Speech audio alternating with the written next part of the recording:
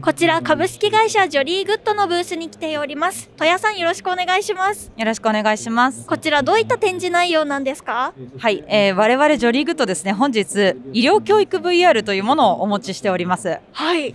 えー、今回ですね、大学さんですとか、まあ、病院さんと一緒に開発をさせていただいた VR コンテンツというものがございまして、まあ、これをクラウドに上げて、皆さんがですね、えー、いつでもどこでも体験できる、そういったまあプラットフォームを持っておりまして、そのご紹介を、えー、させていただいております。えー、コンテンツだけじゃなくてプラットフォームもなんですね。あそうですね、医療従事者の方が、まあ、いつでもこの VR 教材というものにアクセスできるような環境を構築しています。なるほど。では早速体験してみたいと思います。はい。10年ほど前でしょうか、えー 3D 部門ではこの VR ゴーグルですね、はいお持ちいただきまして、えー何か新しい映像のチャレンジをするときこちらのタブレットで操作していきます。覗いてみます。あはい思っておりまして A4K も、えー、何とか制作して、えー、この準備大丈夫ですか？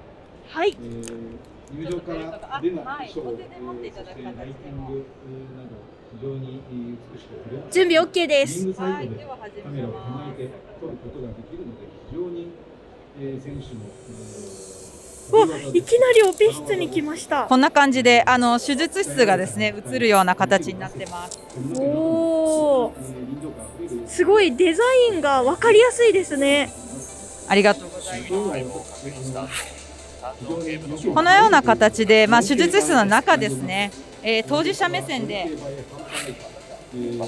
体験をすることができるものになってます。わ、すごーい。なるほど。もうめちゃくちゃなんかすべてを理解できました。医療では全然素人なんですけど、はい例えば自分が注目したいところ、なんか自分のポジションはここだったらここを見たいとかが、あの自分の意思で見ることができるので、こう平面のあの決まった動画を見るよりも理解度が高まるなって思いました。あまさにまさにありがとうございます。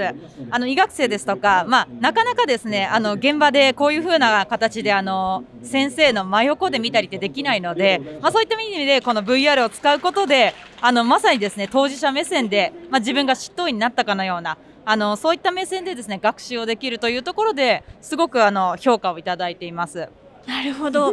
では最後に見ている方に向けてメッセージをお願いします。はい。えっと、我々もですね、あの国内の、えー大学さんですとか教育機関さん、まあ病院施設さんとかにこう導入をいただいてるんですけれども、あの今年から海外向けにですね展開を、えー事業を展開していきたいなというふうに考えておりますので、あのご興味ある方ぜひご連絡いただけたらと思います。戸谷さんありがとうございました。ありがとうございました。